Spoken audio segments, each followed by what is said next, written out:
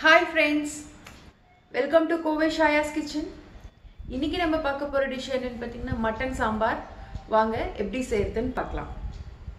கறி சாம்பாருக்கு பார்த்தீங்கன்னா ஒரு நூறு கிராம் பருப்பு கால் கிலோ கறி. கால் கிலோ கறி. நல்லா கழுவி எடுத்துக்கலாம். நல்லா கழுவியாச்சு பாருங்கள் இப்போ இது ரெண்டையும் வந்து நல்லா வேக வச்சு எடுத்துக்கலாம். போது தண்ணி. ஒரு ஸ்பூன் மஞ்சத்தூள். ஒரு டேபிள் ஸ்பூன் எண்ணெய். ஒரு தக்காளி.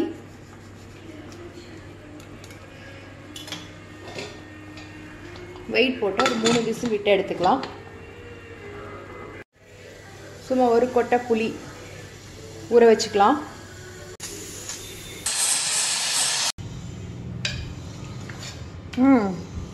பருப்பும் மட்டன் நல்லா வெந்துருச்சு.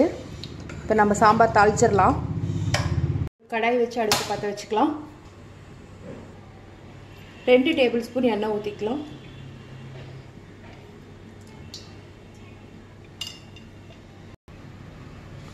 ஒரு டேபிள் ஸ்பூன் கடுகு.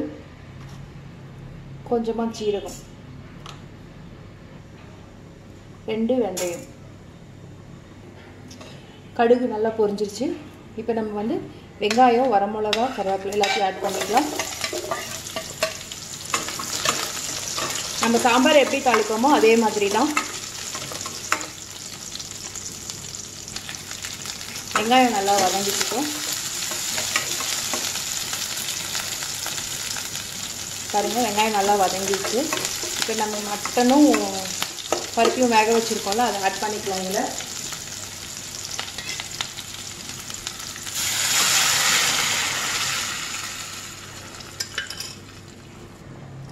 டேஸ்ட்டுக்கு ஏற்ப உப்பு ஆட் பண்ணிக்கோங்க. சாம்பார் தூள்.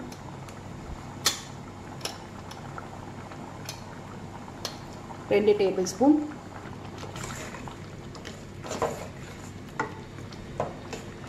நல்லா கொதிக்கிட்டு தேங்காய்.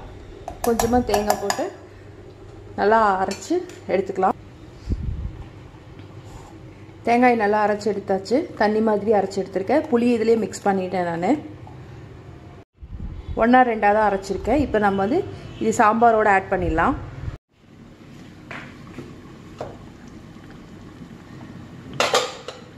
இப்போ நம்ம தேங்காய் ஆட் பண்ணிடலாம். தேங்காயும் புளியும்.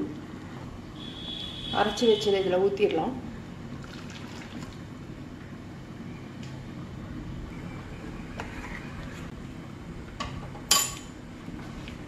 உப்பு இருக்கான்னு பார்த்துக்கோங்க. இல்லைன்னா போட்டு ஆட் பண்ணிக்கோங்க. இப்போ இது கொஞ்சம் நல்லா கொதிக்கட்டும்.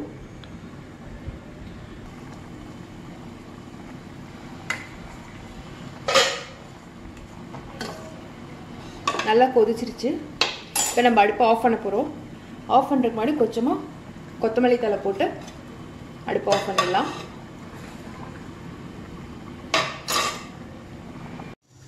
சூப்பராக கறி சாம்பார் ரெடி ஆயிடுச்சு. நம்ம இப்போ டேஸ்ட் பார்க்கலாம்.